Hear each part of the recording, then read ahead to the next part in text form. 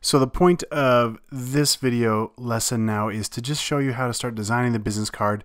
And you already know how to use Photoshop at this point, so I'm really not interested in showing you a bunch of different ways to design something as much as showing you a few little things to consider as you design your business card so you get the right uh, results that you're looking for. So, like any good cooking show, I've already cooked up some typography, so you don't have to sit here and watch me fiddle with it for an hour. Uh, so, here's some simple text I've got for some contact information, simply using the original font that we used on the logo, Abolition Round, paired with Lato.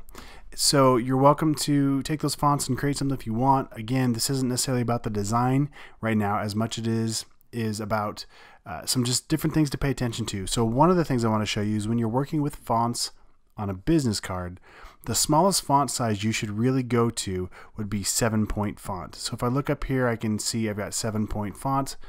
And uh, now the, the, the thing I would say, you know, would be the exception to this would be this graphic designer text because it is in all caps. I did crunch it down to six and a half. So that is the absolute smallest you'd ever want to go on the size. Right now it looks fine because we're zoomed in, but when you actually look at this at the viewing distance or the size of the card, you know, anything smaller than that's going to be nearly impossible to read. So that's one thing to consider. The next tip that I've learned in making business cards is, well, we, we talked about how the width is this is three and a half inches and the height is two inches. So if I draw a rectangle shape and I free transform this, and let's just make it two inches wide, so two inches by two inches tall, we have a perfect square. And this is actually a great uh, ratio here to, you know, you don't have to actually show the square on your card, but let me just show you something real quick. If we snap this into where the actual trim size is, not the actual bleed, but the trim size, and we drop a guide either on this side, or maybe we move it over to the left here, and drop another guide over here and I'll turn my shape back off it creates it's kind of tough to see on that white background but it creates uh, a natural break in the design, a nice grid, I guess you could call it, to drop in a logo. So I'm just going to jump over here to this other logo that we designed uh, in a previous section, and let's just paste this over here to the side here. So you know, I don't necessarily love the fact that it's my name twice or anything like that. I'd probably just do the icon. In fact, let's just go ahead and do that. But let's let's pretend like we had uh, this was the actual business name, and that might be the personal name right here. So if I align this shape within this box, so from here two inches across, which was to there, and now I hold down Alt and Shift while I transform this to the center. If I turn my guides back off, you can see that this is a nice division uh, nice centered, not quite centered, but um, just it looks visually appealing. A better example of that might be if I just grab this icon here. So I'll double click in here and grab that. Command V to paste. Same thing. So if we kind of use that bounding box as a guide, you can see that visually it's it's pretty nice. Now, granted, this card is incredibly simple, and the point is more so to show you that um, that little trick as far as a two inch by two inch square thing for when you're designing things. Now, you could also make this a lot more. Um, apparent by actually drawing that or, or actually putting it within a color of some kind. So let me uh, turn off my guides here real quick and let's scale this up a touch. So we could do something like that. That's a lot more um, apparent. And now I've got this white box around it. That's actually going to get trimmed off. But what we'd want to do, now that we have the square, is we'd want to scale it up, both to the height. And now I don't want to do left and right here. I just want to scale this to the right so it goes beyond that bleed. And sometimes it's hard to see what it looks like with the bleed. So what I do, I'll turn on my guides again. I'll get my rectangle tool by hitting the letter M. And then I'll click and drag to my trim size area. And then I'll select the inverse, Command Shift I, where is that at here? Inverse, there we go. Shift Command I, and now it selects just where my bleed area is. I'll make a brand new layer, and I'll hit Command Shift in the right bracket to throw it all the way to the top.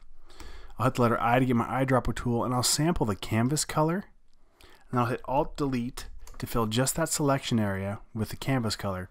And I usually just call this layer Bleed Mask because I'm literally masking my bleed just so at least visually as I'm looking at this I can kind of get a feel for where the actual size of the business card is.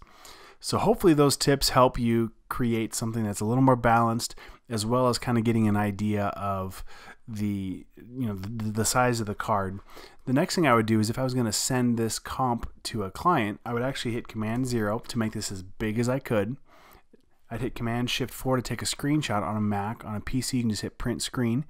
And then I would just click and drag. So once I get it started, I hit spacebar to move it up to the top left and then drag down to the bottom right. And the reason why I would take a screenshot this way is because then the client doesn't see the extra space around. It's going to get cut off anyway and wonder why, hey, you know, that's a lot of space around the text or whatever, when really it's actually getting trimmed to there. So now when I jump to my desktop, and I open up that screenshot that I just took, we can see that it just shows that area I took the picture of. So that was be how that's how I work with um, uh, this, the creation of the business card. But again, feel free to push this design further and to create something that you truly love.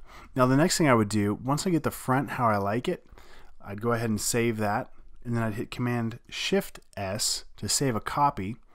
We'll call this business card back, hit save. And now what I can do is kind of go crazy and maybe just turn off my content here.